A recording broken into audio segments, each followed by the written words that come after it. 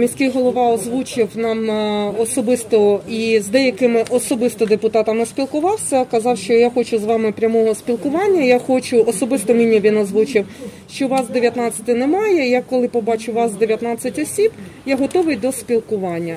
Виносите своє рішення, я в правовому полі буду розглядати. Що ми зробили вже повторно сьогодні? Е, Ми вже е, пересіли всі 19 окремо, щоб можна було легше порахувати, що нас дійсно 19. Е, Ви бачили, що міський голова встав і пішов з сесії. Ми пішли до нього в кабінет, все ж таки поспілкуватися 19 осіб. На цьому все закінчилось. Міський голова не з'явився. Він просто в коридорі сказав, що я з вами спілкуватися не буду. Якщо бажаєте, йдіть до секретаря міської ради.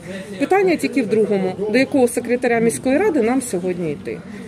Все на цьому все закінчилося. Ми розійшлися. У нас є досі питання. Саме перше питання це по секретарю міської ради.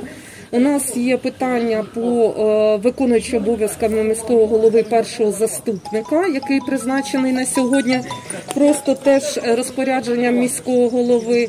У нас є питання по виконавчому комітету. У нас є питання по структурі міської ради.